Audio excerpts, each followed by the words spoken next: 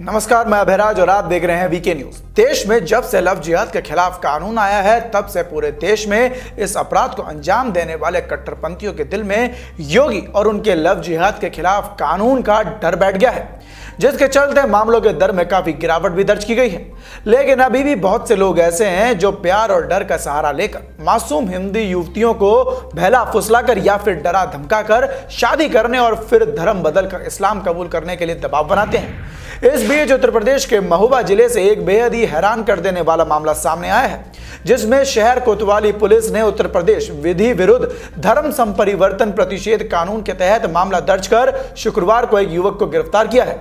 Police ने इसकी जानकारी देते हुए बताया कि दूसरे समुदाय के युवक मुन्ना खान पर आरोप है कि उसने हिंदू बनकर एक विवाहित इक्कीस साल की महिला को पहले अपने प्रेम के जाल में फंसाया, फिर उसे किडनैप कर ले जाने के बाद उस पर धर्म परिवर्तन का दबाव बनाया। आइए अब आपको पूरा मामला बताते हैं। महोबा शहर कोतवाली के प्रभारी निरीक्षक एसएचओ अनूप कुमार दुबे ने शुक्रवार को बताया कि गुरुवार को 21 वर्षीय महिला की शिकायत पर उत्तर प्रदेश लव जिहाद के खिलाफ लाए गए कानून के तहत मामला दर्ज कर शुक्रवार को महोबा शहर के ही एक मोहल्ले में रहने वाला आरोपी मुन्ना खान, जिसकी उम्र 25 साल है, उसे गिरफ़्तार कर लिया गया है और उसे संबंधित कोर्ट में पेश भी किया गया। इसी के साथ प्राथमिकी के आधार पर उन्होंने बताया कि शहर के एक मोहल्ले में रहने वाली 21 साल की महिला ने अपनी शिकायत में कहा है कि मुन्ना खान नाम के युवक ने हिंदू बनकर उसे प्रेम जाल में फंसा लिया था।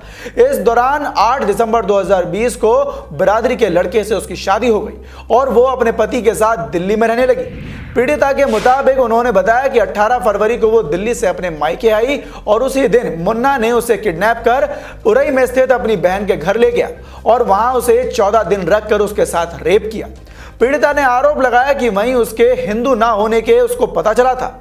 एसएचओ ने आगे बताया कि महिला का आरोप है कि युवक ने रेप की घटना का अश्लील वीडियो भी बनाया और उसे सोशल मीडिया पर वायरल करने की धमकी देकर उस पर धर्म बदलने का दबाव बनाया।